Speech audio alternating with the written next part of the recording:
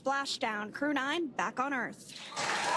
Astronauts Butch Wilmore and Suni Williams may be back on Earth, but their mission to regain normalcy has just begun.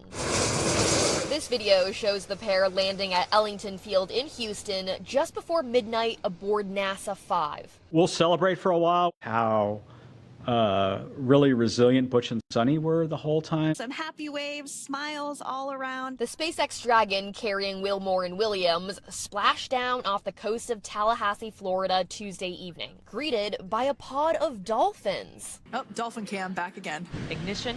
The two astronauts launched on the first human test flight of the Boeing Starliner in June of last year.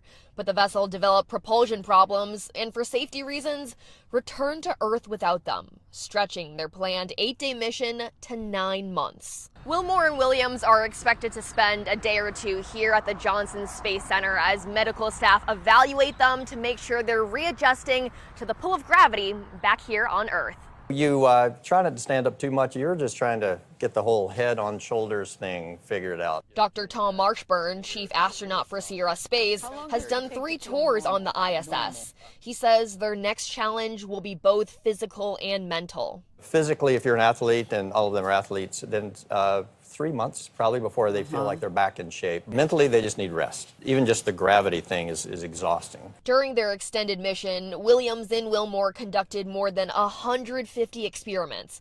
While NASA is celebrating their return, no one could be happier than their families, eager to see them on the ground. Karen Hua, CBS News, Houston.